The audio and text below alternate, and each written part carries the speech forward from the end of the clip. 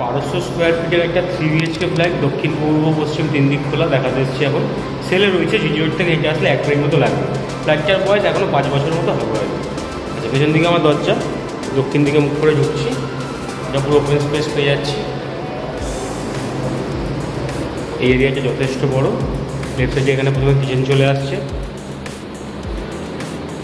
ওপরটা পুরো বক্স মতো করা আছে। এখানে চিমনির জন্য ফাঁকা রাখা। সেভ করা কিচেন কিচেনটা বেশ বড় সড়ো আছে। ফ্রিজের পয়েন্ট পেয়ে যাচ্ছি।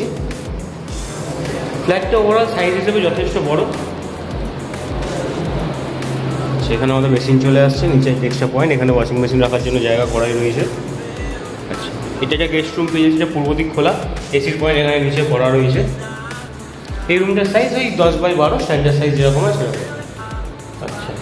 উল্টো দিকে চলে আসছে কমন বাথরুম ওয়েস্টার্ন টয়লেট। এখানে আমাদের মাস্টার বেডরুম চলে আসছে। এই ওয়ার্ড্রপগুলো থাকবে।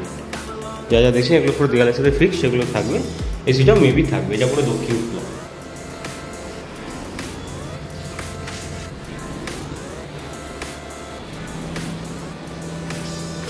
অ্যাটাচ বাথরুম যথেষ্ট বড় সাইজ এই ফার্নিচারটার পর থেকে এটা প্রায় প্রায় দশ ফুট হয়ে যাবে, এটা প্রায় প্রায় বারো ফুট সামথিং হয়ে যাবে। ঘরটা বেশ বড় সাইজেরই ঘর আছে।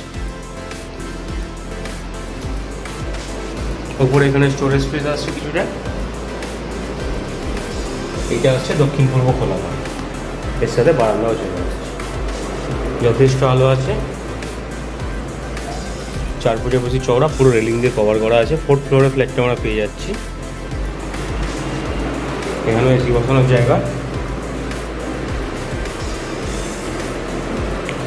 প্রায় প্রায় বারোশো স্কোয়ার ফিটের ফ্ল্যাট থার্ড ফ্লোর বাইক পার্কিংয়ের সাথে অ্যাভেলেবেল আছে কার পার্কিং আমি সেটা অ্যারেঞ্জ হয়ে যাবে, অসুবিধা নেই।